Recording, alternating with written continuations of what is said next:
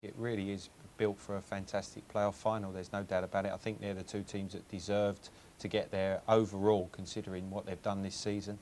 And um, I think it'll be a feast of football because they've got goal scorers in both teams, um, they're attacking sides, and, and in the open spaces of Wembley, it could certainly be a cracking game. How important do you think the return of Niall Quinn was tonight, Ray? Missed a couple of matches, but Quinn and Phillips have been a terrific combination, haven't they? Certainly have. A bit like Toshack and Keegan, Yeah. isn't it? You know, uh, the little and large. But I think uh, you've got Uh, In the final against Sunderland, they were at home to Ipswich, a goal up from the first leg. The commentator is Rob Palmer.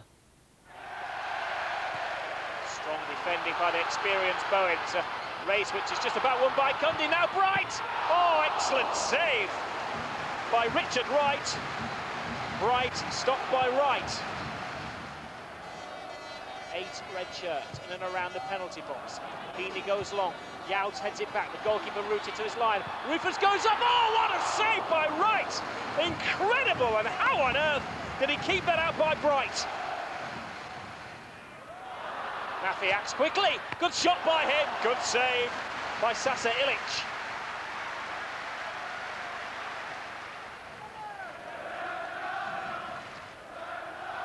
Excellent piece of play from Newton. Tiptoes through the defence and scores a wonder goal!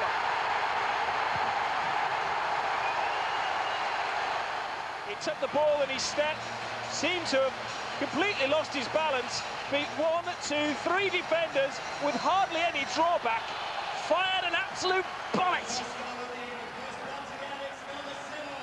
So Alan Curbishley sends the central defenders forward. Youds goes up and he gets a header to the ball. He was denied only by a piece of wood.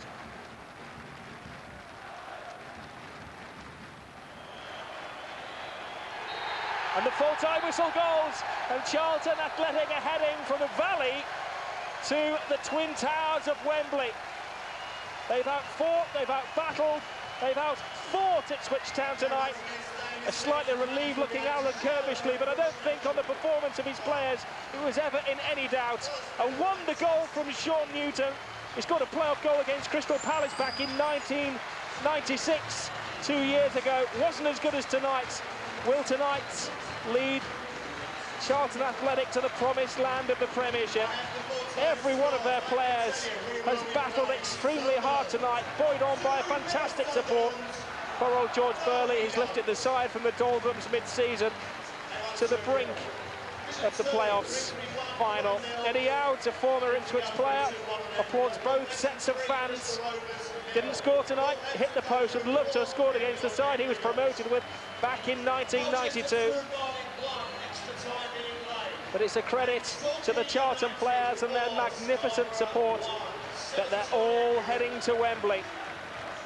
The final score at the Valley tonight, Charlton Athletic 1, Ipswich nil.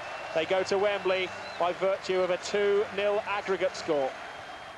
So Charlton's fantasy season continues. Clive, they're just unstoppable at the moment. They are. I think they've put a tremendous run together, unbelievable run to get this far. And I think that um, I did say I felt it would be the away performance that would win this tie. It was so difficult to call, and I felt that they had the upper hand from that 1-0 victory at Ipswich on Sunday. And they did that tonight, Ray, without their leading goal scorer, Clive Mendonca. It's an awesome performance again, isn't it? Uh, it's all set up for Wembley. Uh, Mendonca hopefully will be back, and he's a great asset to them. I think Alan Curbishley deserves a lot of credit just before the...